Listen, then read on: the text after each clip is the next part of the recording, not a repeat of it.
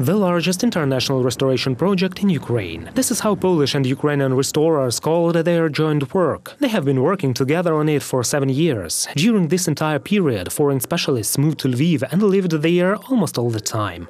It was a challenge for us, and it's very nice to see the result now, because now we can look at everything from a height of 26 meters. It's a very interesting work. You had to be constantly focused.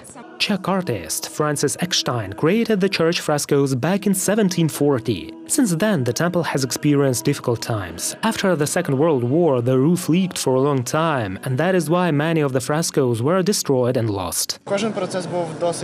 Each process was quite difficult, it required a certain skilled work, therefore it was not necessary to divide some harder work into processes. It all required work. The restoration budget amounted to more than 20 million hryvnias. 20 Ukrainian and Polish architects worked on the project. Most of the work was funded by the Ministry of Culture of Poland. A lot of money came from the parishioners of the church. This church once played an important role in the Kingdom of Poland, and today it is one of the most iconic places of worship in Lviv, Ukraine. This is a church where soldiers and veterans gather and military chaplains serve.